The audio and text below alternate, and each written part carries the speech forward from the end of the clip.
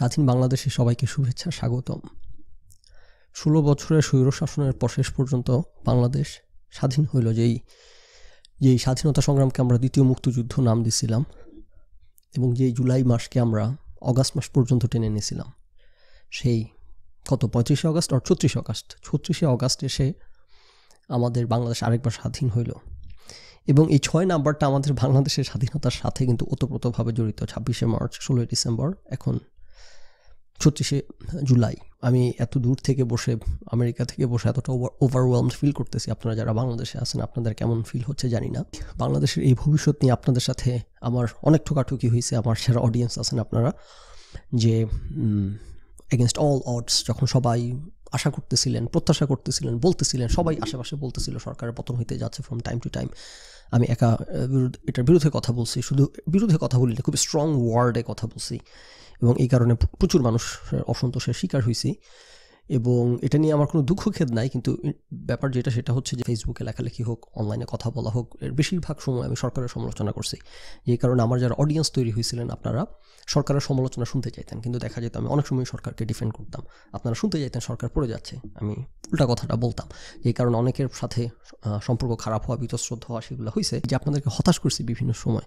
আশা করি আপনারা সেটা অ্যাপ্রিসিয়েট করবেন, যে যখন হতাশ করছি তখন হতাশ করার মতো কারণ ছিল বলে, এবং যখন আশার আলো দেখাইছি তখন আশার আলো দেখানোর মতো কারণ ছিল বলেই রাইট আমরা কেউই জ্যোতিষী না, কেউই গণক না, আমরা সিম্পলি আমাদের সবার সামনে থাকা তথ্য প্রমাণ উপাত্ত অবজার্ভ করি যা যেটা, সেটা আমরা এক্সপ্লেন করি। আপনাদের যদি মনে হয়ে থাকে আমি মনে হয় আওয়ামী লীগ সমর্থক, কারণ আওয়ামী লীগের প্রশংসা করছি আওয়ামী লীগ সরকারের, শেখ হাসিনার বিভিন্ন ফ্রম টাইম টু টাইম আবার সমালোচনা করছি ভিহিমেন্টলি বিএনপির সমালোচনা করছি vehemently from time to time Jamaat Islam, Hefazat সবার সমালোচনা করছি টাইম টু টাইম রাইট তো আপনাদের কারও মনে যদি কোনো এরকম ধারণা কখনো হয়েও থাকে বিন্দুমাত্র তিলমাত্র আমাদের কোনো দল আছে আমার কোনো বা কোনো পছন্দ আছে বা আওয়ামী লীগের প্রতি আমার কোনো ইয়ে আছে, দেখেন এই সরকারের আমলে সাফার করে নাই এমন লোক বাংলাদেশে খুঁজে পাওয়া যাবে না। গত পনেরো ষোলো বছর ধরে তারা অত্যাচার এমন এক স্টিম রোলার চালাইছে, রাজনৈতিক অরাজনৈতিক কেউ ছাড় পায় না এদের হাত থেকে। আমি যদি আমার পার্সোনাল কিছু ইনফরমেশান আজকে শেয়ার করি, যেহেতু আজকে দেশ স্বাধীন হয়েছে, আমরা সবাই খুবই আবেগাপ্লুত অবস্থায় আছি। আমার ব্যাপারে আপনারা জানেন যে আমাকে বাংলাদেশে নিয়ে কী সাফারিং এর মধ্যে পড়ছিলাম আমি। বাংলাদেশে আমার ঢাকা ইউনিভার্সিটিতে শিক্ষক হিসেবে নিয়োগের একটা প্রতিশ্রুতি দিয়ে আমাকে নেওয়া হয়েছিল। তারপর সেখানে আমাকে, আমি হচ্ছে সরকার বিরোধী, সরকারের সমালোচনা করি, এইসব কারণে আমাকে দেড়, দুই বছর আমার জীবনের সবচেয়ে মূল্যবান দুইটা বছর সময় নষ্ট করার পর তারপর আমি বাংলাদেশ ছেড়ে চলে আসি। আমার বোন বিসিএসে রিটেনে হয়েছিল প্রিলিতে হয়েছে রিটেনে হয়েছে ভাইভাতে হয়েছে তারপর তাকে বিসিএসে নেওয়া হয় নাই। তো আপনি প্রশ্ন করতে পারেন, প্রিলি রিটেন ভাইবা সব হয়ে গেলে নেওয়া হয় না, এটা আবার কীভাবে সম্ভব? পুলিশ ভেরিফিকেশানে তাকে ফিল করানো হয়েছে can you believe this police ভেরিফিকেশানে সেই বছর পুলিশ ভেরিফিকেশানে ষাট সত্তর জনকে ফিল করানো হয়েছিল আমার বোন তার মধ্যে ছিল। এবং আমার আব্বু মোটামুটি প্রভাবশালী, জানাশোনা আছে প্রচুর প্রয়োজনীয় লিঙ্ক টিঙ্ক আছে। কোনো কিছুতে কোনো কাজ হয় নাই। কেন তাকে ফেল করানো হয়েছে, তার বিরুদ্ধে কী অভিযোগ আনা হয়েছে, সে হচ্ছে যখন ইউনিভার্সিটির হলে থাকতে, পড়াশোনা করার জন্য হলের রুমের মধ্যে একসাথে সবাই ডিস্টার্ব হয়, আড্ডা মারে, এই জন্য সে হচ্ছে তার সে যে বেড যেখানে, এখানে সে পর্দা টানায় আর কি, আলাদা করে পড়তো। এটার জন্যে বলা হয়েছে যে সে শিবির করে, শিবির জামাত করে এবং সে পর্দা টানায় ভেতরে এগুলা করে। আমার বড় ভাইকে কোটা সড়ক আন্দোলন যখন হয়, সড়ক আন্দোলনের সে হইতেছে একটা ফেসবুক গ্রুপ খুলছিল ফেসবুক তো গ্রুপটা খোলা গ্রুপটাতে যখন হাজার হাজার লোক জয়েন করা শুরু করে, তখন ভাই একটু ভড়কে গিয়ে সেই গ্রুপটা বন্ধ করে দেয়। মানে ওই গ্রুপটা একটা ইভেন্ট খোলা হয়েছিল সরি একটা event and that event never took place that event never took place তারপরও সে কেন এই গ্রুপটা খুলছে? এই কারণে তাকে পুলিশ তুলে নিয়ে গুম করে দেয়। মিন্টু রোডে নিয়ে রাখে। আমরা তো জানতাম না, গুম হয়ে গেছে। তো যখন কারও পরিবারের সদস্য যখন গুম হয়, কী অবস্থা বুঝতেই পারেন। সারা দুনিয়াতে সব জায়গাতে ফোন টোন দিয়ে যত রকম লিঙ্ক আছে সব কিছু ধরে তারপর আমরা এক রাতের মধ্যে তথ্য বের করতে সক্ষম হই, তাকে ডিবি পুলিশ নিয়ে তুলে নিয়ে গেছে। এবং এরা যখন তুলে নিয়ে যায় তখন তো এগুলো আমরা জানতে, জানছি রাইট যে এরা এমনভাবে কাজ করে যে কোনো ট্রেস রাখে না। এই পাশের রুমের যে অফিস তুলে নিয়ে গেছে, পাশের রুমের অফিসারও জানে না যে কী হইতেছে। মানে কোনো ট্রেস রাখেন আপনি কোথাও থানা, পুলিশ যোগাযোগ করে কেউ আপনাকে তথ্য দিতে পারবে না কী হয়েছে এবং যখনই আপনি কোনো ট্রেস পাবেন না, কোনো তথ্য পাবেন না, তখনই আপনি জানতে পারবেন যে আচ্ছা তার মানে তাকে গুম করা হয়েছে সরকারি বাহিনী গুম করে দিছে। তো তারকে যখন গুম করা হয়েছে এরকম অনেক কথা, সবাই আমরা খুব অবাক যে কেন গুম করবে? তখন নির্বাচনের আগে আগে সবাই ভাবতেছিল নির্বাচন নিয়ে কোনো কিছু বলল কিনা, লিখলো কিনা। তখন আমি সবাইকে বললাম যে, না, এটা হওয়ার কথা না। সেটা হইলে এই মুহূর্তে ধরপাকড় করার জন্য হাজার হাজার লোক পড়ে আছে যারা সরকারের সমালোচনা করতেছে অনলাইনে ভাইয়া তো কখন কিচ্ছু লিখে নাই। তাকে কেন ধরবে? সো এটা মানে ডিটেল মেকানিক্স সবাই ধরে নিছে যে নির্বাচন নিয়ে কিছু বলায়। পরে যখন সে বের হয়ে আসছে, তখন তো আমরা জানতে পারলাম নির্বাচন নিয়ে কিছু বলার জন্য না। সেটা হচ্ছে সে একটা ইভেন্ট খুলছিল দেখে। এবং তাকে তুলে নিয়ে যেই মারাটা মারছে, আপনারা নাহিদের ছবিটা দেখছেন না? পায়ে যে কালসিরা এক্স্যাক্টলি এরকম। যাদেরকে ধরে নিয়ে যায়, দেখবেন তাদের সবারই অবস্থা করে। শোয়ায়, রড দিয়ে ইচ্ছা মতো পিটায়। তো কোনো অপরাধ না করে। এবং সেটা সারা, আপনাদেরকে বিভিন্ন সময় চ্যানেলে নানান কিছু আলোচনা করছি। আজকে স্বাধীনতার দিনে একটু খুলে আর একটু ব্যাখ্যা করি। তো ভাইয়ার পেছনে লাগছিল হচ্ছে তার অফিসের এক কলিগ সেই কলিগ হচ্ছে সে পুলিশে নিয়োগ, যোগ দিয়েছে। যোগ দেওয়ার পর সে ফর হোয়াট এভার রিজন ভাইয়াকে তার পছন্দ হয় না। এই কারণে সে এই ছুতা ধরে যে ভাই একটা ইভেন্ট খুলছিল, সে তারপর তার গুন্ডা পান্ডা নিয়ে তুলে নিয়ে গিয়ে তারপর এরকম টর্চার করে।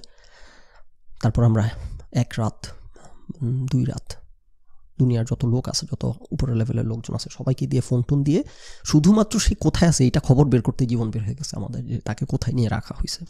তারপর সেখান থেকে তো বের হয়ে আসছে। সো এই ট্রমাটা কি ভাবা যায়? কোনো অপরাধ না করে একটা দেশের নাগরিক তো আপনারা যদি কেউ ভেবে থাকেন যে, ও, আমি আওয়ামী লীগ সরকারের ফ্রম টাইম টু টাইম প্রশংসা করছি, বিএনপি সমালোচনা করছি জামাতের সাথে না না না এই জামাত হেফাজতের এই যুদ্ধাপরাধ বিচারের সমালোচনা করার কারণে এবং এই সরকারের সমালোচনা করার কারণে আমি সাফার করছি। আমার ভাই, আমার বোন কোনো কিছু, কোনো অপরাধ না করে সাফার করছে। দেশের সাধারণ নাগরিক, আমি প্রিটি ইস্যুর গত পনেরো বছর আপনি জান প্রত্যেকটা নাগরিকের সাফারিংয়ের গল্প আছে কমার বেশি। তো এই যে দানব এই দানবের পতন আমাদেরকে দেখাইলো যে পৃথিবীতে কোনো কিছুই অজেয় না, পৃথিবীতে সবারই একটা এন্ড আছে। এবং এটা একটা কি পোয়েটিক জাস্টিস দেশ স্বাধীন করল যে এই বঙ্গবন্ধু। ওনার পুরা পরিবার নিশ্চিহ্ন নিশ্চিহ্ন হয়েছে ওনাদের অত্যাচারে অতিষ্ঠ হয়ে মানুষ নাভিশ্বাস তুলে ওনাদের পুরো পরিবারকে ম্যাসাকার করা হয় এবং সেই সময় মানুষ মিষ্টি বিতরণ করে। বাকি ছিল শুধুমাত্র ওনার পরিবারের দুইজন, শেখ হাসিনা এবং শেখ রেহানা। তারা দুইজন আজকে দেশ ছেড়ে পালাইছে, হেলিকপ্টারে করে ইন্ডিয়াতে। দেশে থাকলে ওনারা আজকে ম্যাসাকারের শিকার হইতেন।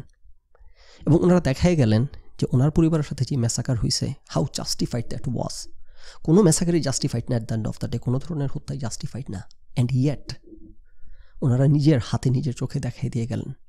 বাংলাদেশের মানুষকে পুরা শেখ পরিবার, পুরা শেখ মুজিব পরিবার বাংলাদেশের ইতিহাসে একটা কলঙ্কজনক অধ্যায় হয়ে থাকবে। আমি আমার দুই পর্বকে আলোচনা করছিলাম, আমাদের দেশ যখন স্বাধীন হবে তখন আমি চাই সেই দেশে সবার কৃতিত্ব এবং সবার খারাপ কাজ ইকুয়ালি অ্যাকনোলেজ করা হোক। শেখ মুজিবুর রহমান মুক্তিযুদ্ধের আগে একটা অবিসংবাদিত ভূমিকা পালন করছেন। এই ব্যাপারে কারও কোনো দ্বিমত নাই। সেই সময় যারা বেঁচে ছিল, কারও কোনো দ্বিমত নাই। শেখ মুজিবুর রহমান তখন একটা গডের মতো ভূমিকায়, একটা গড লাইক ফিগার ছিলেন তখন। আপনি সেই সময় যারা বেঁচে ছিল, সবার এক কথা গড লাইক ফিগার ছিলেন আনটিল দেশ স্বাধীন হওয়ার আগ পর্যন্ত। দেশ স্বাধীন হওয়ার পর উনি হাতে ক্ষমতা পাওয়ার পর, তারপর উনি যে একটা মনস্টার লাইক ফিগার হয়ে গেছেন এই ব্যাপারেও কারও কোনো সন্দেহ নাই। এবং শেখ হাসিনা, উনি যে হাত ক্ষমতা পাওয়ার পর তারপর দেশে একটা মনস্টার লাইক ফিগার হয়ে উঠছেন এই ব্যাপারে আশা করি এটা তো আমরা নিজের চোখে দেখা আমাদের জেনারেশন ইতিহাস বই পড়ে জানতে হবে না, তর্ক বিতর্ক করে। সামনে যে ইতিহাস বইটা লেখা হবে, এই ইতিহাস বইটার থেকে ওনাদেরকে নিশ্চিহ্ন করা হবে না, ওনাদেরকে কীভাবে উপস্থাপন করা হবে, কীভাবে পরিচয় করাই দেওয়া হবে, সেটার আলোচনার অবকাশ রাখে না। এটা একটা খুবই দুঃখের ব্যাপার, একটা খুবই দুঃখজনক ব্যাপার। কিন্তু আমি চাই না, আমি প্রতিশোধ পরায়ণ হইতে চাই না। আমি পার্সোনাল লেভেলে আমাদের ফ্যামিলির সবাই সাফার করছে বিনা কারণে, বিনা অপরাধে। কোনো ধরনের রাজনীতির সাথে সংশ্লেষ না থেকে কোনো কিছু না করে কারও কোনো ক্ষতি করে নেই আমরা। আমরা সবাই, পরিবারের সদস্যরা পিক টাইম সাফার করছি। তারপর কোনো মানে কেউ যদি বলে থাকেন, ও আচ্ছা কী জানি বলে আপনি আপনি কি সাফার করছেন নাকি? আপনি জানেন নাকি? আপনি জানেন নাকি? তারপরও এই নতুন বাংলাদেশে কোনো ধরনের হিংসা, বিদ্বেষ আমি চাই না। আমি চাই এই নতুন বাংলাদেশে শেখ মুজিবুর রহমান, শেখ হাসিনার অবশ্যই তারা যে আকাম করছেন সেগুলো অবশ্যই ইতিহাসের বইয়ে থাকতে হবে এবং তারা যে ভালো ভালো কাজ করছেন সেগুলো আমি চাই অন্তর্ভুক্ত হোক। নতুন বাংলাদেশে হিংসা বিদ্বেষ ভুলে আমরা আমরা কাঁধে কাঁধ রেখে আগানোর চিন্তা করি। এবং এই যে একটা, এই যে যখন আমাদের ছাত্র আন্দোলন হচ্ছিল একটা এই যে হ্যাশট্যাগ ভাইরাল হয়েছে যে প্রবাসী যারা সবাই দেশে ব্যাক করার রাইট এরকম। এবং সেটাতে আমি কোনো হ্যাশট্যাগ দিই নাই, কারণ আমি দেশে ফিরবো না, আমি দেশে ফিরতে চাই না। অফকোর্স এখন বাচ্চা কাচ্চা হয়ে গেছে, দেশে ফেরা অলমোস্ট ইম্পসিবল একটা ব্যাপার। দ্যাট অ্যাসাইড কারণ আমি জানি না, কারণ আওয়ামী লীগের হাত থেকে তারপর কার হাতে পড়বে হোয়াট এভার যাদের হাতে পড়বে তারা বাঙালি, তো বাংলাদেশি তো রাইট বাংলাদেশ শুভ হয়ে যেতে যাচ্ছে না। জাস্ট কিছুদিনের মধ্যে আবার দেখবেন আরেক মাফিয়া তন্ত্রের হাতে পড়ে গেছে, আবার এই গুন্ডা পান্ডা ক্ষতি করা, মানুষের পেছনে লেগে যাওয়া। তো ফেসবুকে ফানি অনেকে আমাকে বলতেছেন, আপনি আসেন, আপনাকে ফরেন মিনিস্টার বানানো হবে। আমি বললাম আর কি যে ফরেন মিনিস্টার যদি আমাকে বানান, তাহলে আমি দেশে ফিরতে রাজি আছি এছাড়া দেশে ফিরতে রাজি না। তো যাই হোক, আমি আমার পার্ট প্লে করে যাব, আমি আমার রোল প্লে করে যাব, বিদেশে বসেই। বাংলাদেশকে সভ্য করার জন্য কথা বলে যাব, আলোচনা করে যাব। এবং যত গালাগালি করছেন আমাকে আশা করি আপনারা বুঝতে পারবেন যে যত at the end of the day যত আলোচনা করি, যত কথা বলি, দেশের ভালোর জন্যই বলি।